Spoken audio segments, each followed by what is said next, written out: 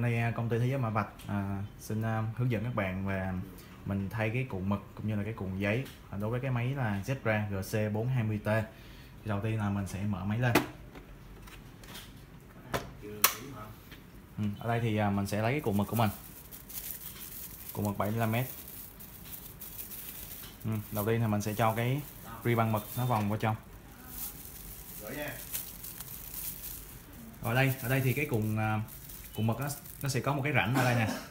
Mình phải lắp nó trúng trùng khớp với lại cái cái rãnh ở trong cái cuộn của máy. À, các bạn có thể thấy cái rãnh ở đây nè. Sẽ có một cái rãnh. Rồi thì đầu tiên là mình sẽ gấp cái đầu bên này trước.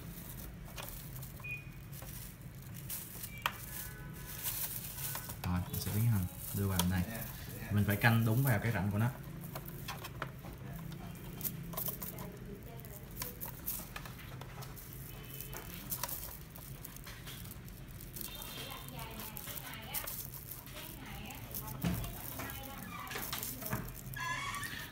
Rồi, thì cái cùng mực nó đã vào đúng cái rãnh của nó rồi. Thì các bạn có thể là xoay thử. Tại vì nếu mà không đúng cái rãnh của cuộn mực á, thì cái máy lúc khi in mình nó sẽ bị lỗi. Và cũng tương tự như vậy, thì nó sẽ có một cái cuộn thu, thì nó cũng sẽ có một cái rãnh như vậy.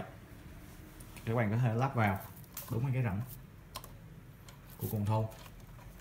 Rồi, thì đây mình sẽ dán lên.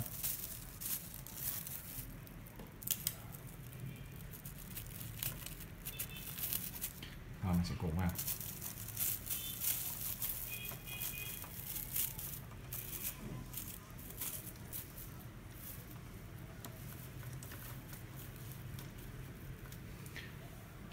Rồi ở đây mình sẽ lắp cái cuộn giấy.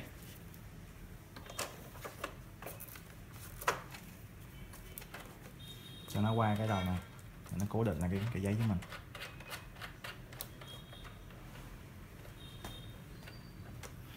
Rồi ở đây là mình đã hoàn thành cái quá trình mà lắp cuộn mực và cuộn giấy. Đối với máy là GC420T